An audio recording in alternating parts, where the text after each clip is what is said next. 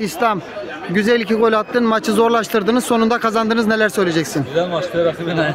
Ayağına sağlık. Tebrik ediyorum ilk takım. Uğur'a rağmen kazandınız ne diyeceksin? Evet. Dağa taşa Daha taşa toprağa yani toplar sınır dışına çıktı. Allah'tan sağa kapalı diyoruz. Aynen. Sağ olun hocam teşekkür ederim. Ben teşekkür